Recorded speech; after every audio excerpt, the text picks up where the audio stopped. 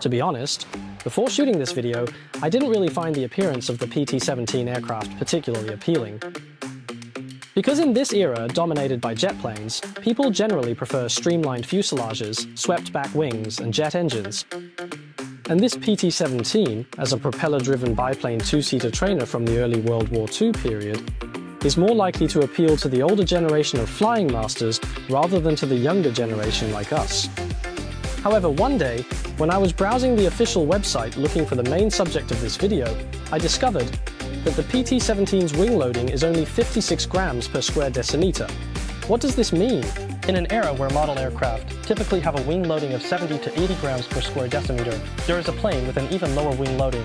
This means it will have a lower flight speed, better takeoff and landing performance, and more agile maneuverability, to explore whether this plane's flight performance is as good as theoretically suggested, we created this 3D printed PT-17 Stearman. Of course, before the video starts, we would like to express our gratitude to FlashForge Technology for supporting our channel. FlashForge Technology, with 12 years of experience in 3D printer development, has perfected both the quality and cost effectiveness of their 3D printers. If you, like me, are a geek who only pursues 3D printing quality, then the FlashForge AD5M would be my top recommendation. Now, without further ado, let us get into the next part.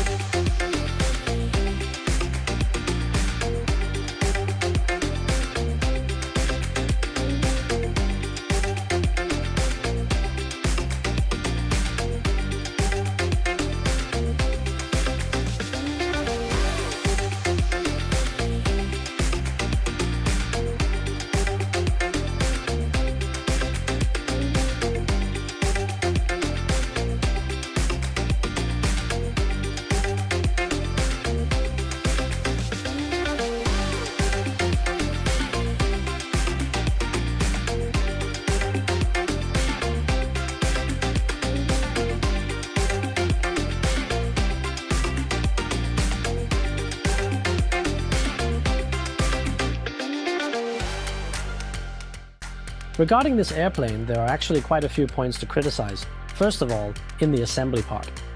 The assembly of this airplane provides very few alignment points or reference points for players, especially for parts like the wings. If you want to align them with others, you might even need to manually align them.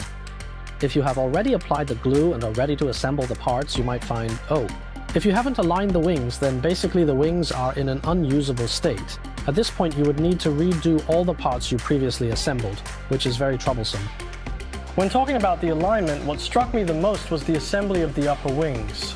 This assembly is very troublesome. You need to align each point of the rods and then insert the paperclip and, and it's done blindly.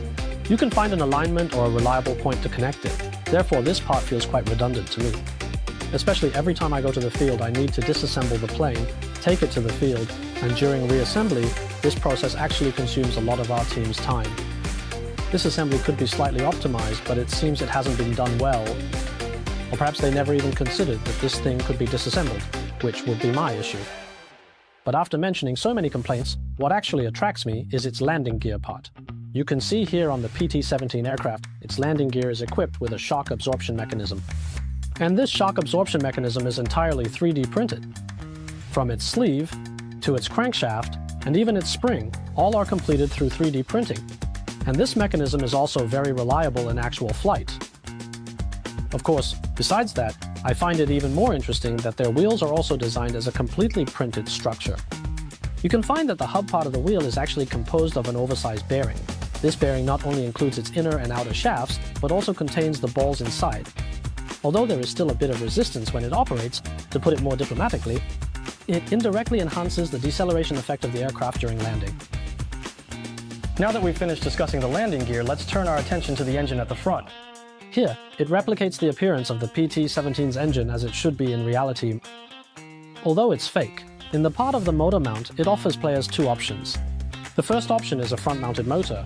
The motor mount offers a rear-mounted motor option as well, allowing players to change the installation method of the motor mount based on their choice of motor. However, personally, I think the rear-mounted engine might slightly affect cooling, but whatever. Since I didn't install the rear-mounted one anyway, I'm using the front-mounted one.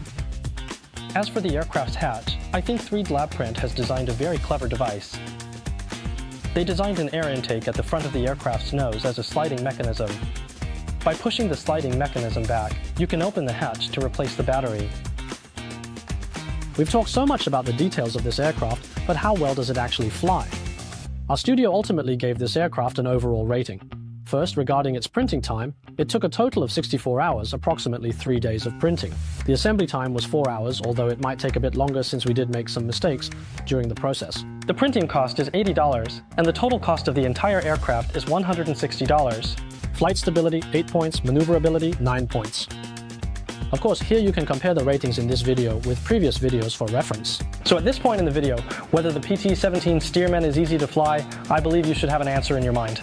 If this video has helped you understand 3D printed model aircraft and the PT-17 to some extent, please don't forget to like, comment, and subscribe, and also a big thank you to FlashForge Technology for supporting our channel.